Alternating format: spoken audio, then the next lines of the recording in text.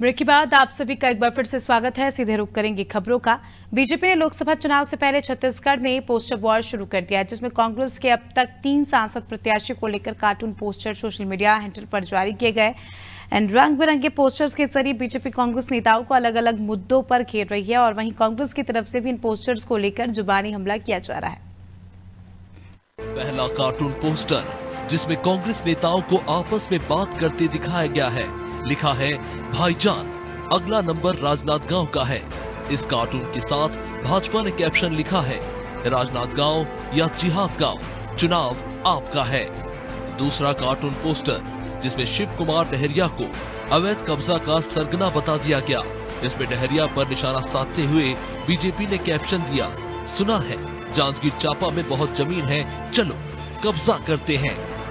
तीसरा cartoon poster जिसमें कोरबा से सांसद और मौजूदा चुनाव की प्रत्याशी ज्योत्सना महंत पर कटाक्ष करते हुए दर्शाया जा रहा है कि जनता सांसद से ही उसका परिचय मांग रही है और जवाब में बीजेपी ने तख्ती पर ज्योत्सना महंत के लिए लिखा है, मैं आपकी लापता सांसद।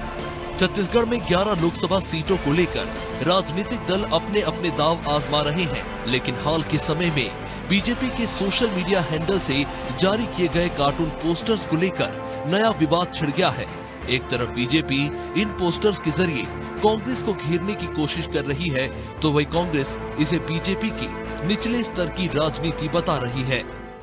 भारतीय जनता पार्टी को इस बात का एहसास है कि लोकसभा चुनाव अब बुरी तरीके से पराजित होने वाली है। उसके पास मोदी जी के वायदा खिलाफी का कोई जवाब नहीं है। तो जन सरोकारों के मुद्दों से ध्यान भटकाने के लिए भाजपा लगातार स्तरहीन राजनीति कर रही है। कभी हमारे राजनाथ गाँव के प्रत्याशी के बारे में अनर्गल पोस्टर जारी किया जाता है तो कभी हमारे जांजगीर चांपा के प्रत्याशी के बारे में अनर्गल पोस्टर जारी किया जाता है। अब तो उन्होंने सारी मर्यादाओं को तार तार रख के हमारी महिला प्रत्याशी जो कोरबा से सांसद हैं, हमारी प्रत्याशी हैं, श्रीमती ज्योत्ना महंत के बारे में एक अनर्गल पोस्टर जारी किया है।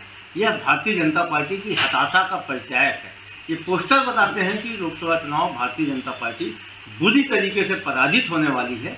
और इसी हताशा में इस प्रकार की निम्न स्तरीय हरकत भूपेश बघेल के राजनाथ गाँव के दौरे के बाद बीजेपी ने जिहाद गाँव का पोस्टर जारी किया। पूर्व मंत्री शिव डहरिया की पत्नी पर, एक सामुदायिक भवन पर कब्जे और सरकारी खर्चे पर दूसरी ज़मीन पर आलिशान मकान बनवाने के आरोपों को लेकर पोस्टर के ज़रिए बीजेपी ने निशाना साधा। वही कोरबा की वो सीट जो बीजेपी पिछले चुनाव में नहीं जीत पाई। वहाँ की कांग्रेस सांसद ज्योत्सना महंत को निशाने पर लेते हुए लापता सांसद बता दिया। अब जो पोस्टर कह रहे हैं, वो मैं देखा नहीं हूँ। एक पोस्टर देखा हूँ मैं, जांजगीर का, जो डॉक्टर शिव कुमार डहरिया। तो जो उन्होंने अपने पाँच साल के कार्यकाल में जो छवि बनाया है, वो छवि को वहाँ लोगों के बीच में ले गया है। कोई नई बात नहीं है।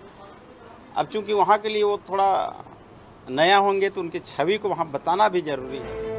एक और भारतीय जनता पार्टी लगातार इस तरह के पोस्टर जारी कर रही है जो कि खूब वायरल हो रहे हैं और लोग इसके मज़े लेते नज़र आ रहे हैं। वही दूसरी ओर कांग्रेस पार्टी अपने सांसदों के पोस्टर्स को लेकर अपनी नाराज़गी ज़ाहिर कर रही है।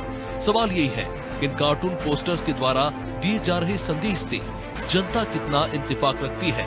रायपुर से करिश्मा सोनी की रिपोर्ट।